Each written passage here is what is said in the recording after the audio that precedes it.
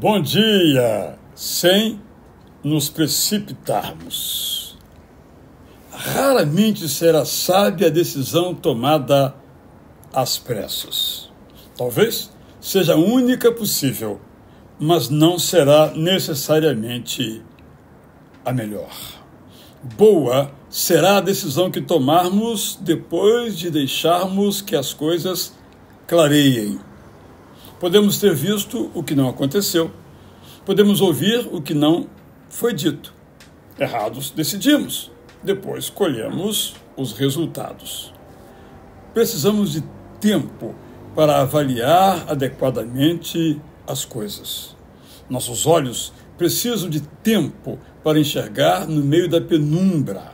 Nossos ouvidos precisam de tempo para decodificar o som que lhes chega. Nossa razão precisa de tempo para processar as informações que recebeu.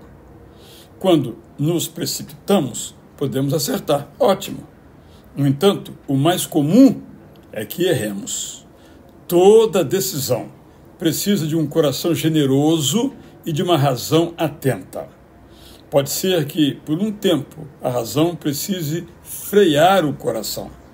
Pode ser que, em outras vezes, o coração aqueça a razão, o que manterá o sentimento e a inteligência como parceiros necessariamente inseparáveis.